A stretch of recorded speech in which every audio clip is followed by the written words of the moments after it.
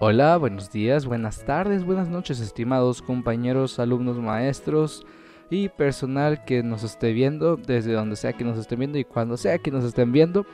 El día de hoy vamos a aprender una canción clásica de mariachi. Una de las tantas clásicas que vamos a estar aprendiendo para el Día del Padre, ¿sí? Porque aquí también nos acordamos de los papás, ¿no creen que no? Así que, bueno, sin más que decir, vamos a por ello, ¿qué les parece? Primero es lo primero, hay que saber qué vamos a cantar y de quién. Así que, sin más preámbulo, les enseño al don, a José Alfredo Jiménez, quien fue un cantante y compositor mexicano solía cantar rancheras, guapangos y corridos. Él estuvo vivo de 1947 a 1973, pues por último a él se le conocía como el rey. Y la canción que vamos a cantar, adivinen cuál es.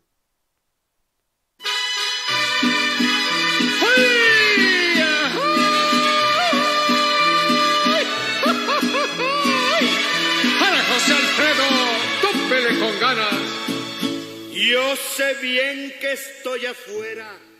Así es, va a ser la de El Rey también, el cual es un clásico entre clásicos dentro de la industria del mariachi. Ahora vamos a empezar a ver qué acordes vamos a usar a lo largo de toda esta canción. El primero se va a posicionar primeramente el dedo número 2 en el traste número 2, cuerda número 4, dedo número 3, cuerda número 3, traste número 2 y dedo número 4, traste número 2, cuerda número 2. Todo esto para hacer el acorde de La mayor. Ahora vamos a aprender el siguiente acorde, en el cual se usa el dedo número 2, cuerda número 5, traste número 2 y el dedo número 1, cuerda número 3, traste número 1. Todo esto para hacer el acorde de Mi séptima. Dedo número 1, cuerda número 3, traste número 2, dedo número 2, cuerda número 1, traste número 2 y dedo número 3, cuerda número 2, traste número 3. Todo esto para hacer el acorde de Re mayor. Ahora vamos a ver los ritmos que vamos a estar usando a lo largo de esta canción. El ritmo va a variar un poquito dependiendo del acorde que estemos tocando.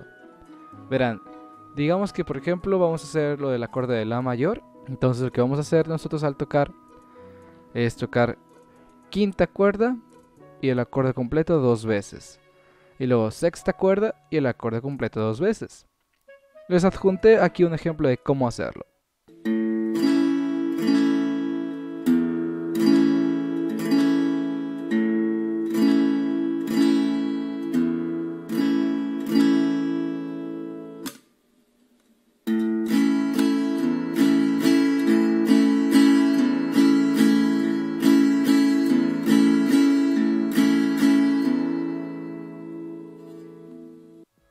Acorde que vamos a ver cómo se toca es el de mi séptima. Se toca primero tocando un bajeo en la cuerda número 6 y luego dos veces el acorde completo todo hacia abajo. Un bajeo en la cuerda número 5 y luego dos veces todo el acorde hacia abajo. Adjunto ejemplo.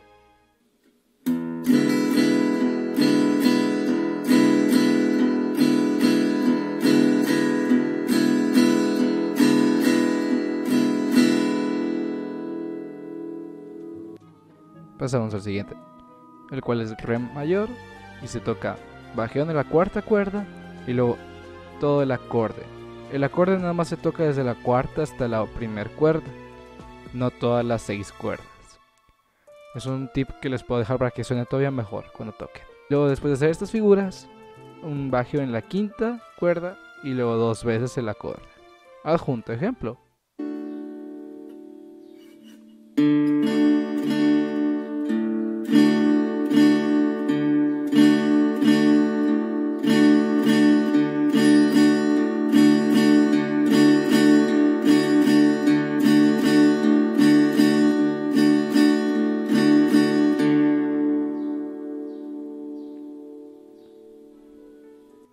Excelente. Lo que sigue es ahora sí ver el orden de los acordes. En esta ocasión para las estrofas vamos a utilizar estos dos acordes y se va a utilizar de la siguiente manera. Las partes que están en blanco son partes que se cantan incluso antes de empezar a tocar la guitarra. un consejo para estas partes, vamos a estar tocando nada más en lugar de dos veces hacia abajo, una sola vez. Y esto va a ser porque la canción así lo pide. Les adjunto el ejemplo.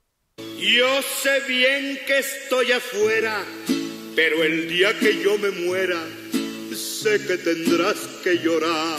Llorar y llorar, llorar y llorar. Dirás que no me quisiste, pero vas a estar muy triste y así te vas a quedar. De hecho, si se dan cuenta, cuando dice y así te vas a quedar, cuando empieza el último la, empieza a dar ahora sí el ritmo con los dos rasguidos hacia abajo. Les adjuntaré un ejemplo de cómo se toca. Yo sé bien que estoy afuera, el día en que yo me muera, sé que tendrás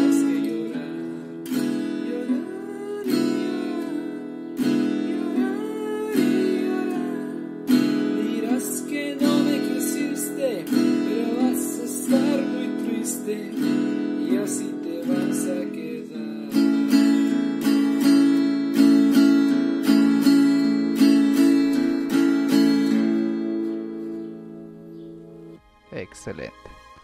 Estos dos acordes y este ritmo aplica tanto para la primera estrofa como para la segunda. Ahora sí, pasemos al coro. Vamos a estar usando los siguientes tres acordes y dice esto. Y suena así. Con dinero y sin dinero, hago siempre lo que quiero. Y mi palabra es la ley.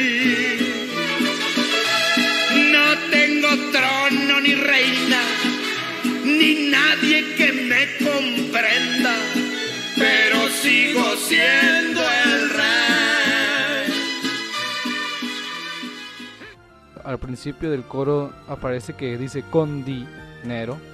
Con di sigue siendo el acorde de la. Y eso es porque es luego, luego. Es decir, terminan ustedes de tocar la estrofa y, e inmediatamente empieza el coro y como en el anterior en la anterior estrofa em, terminamos con un la en el rasgueo normal, aquí por eso se empieza de esa manera. Se va a tocar de la siguiente manera.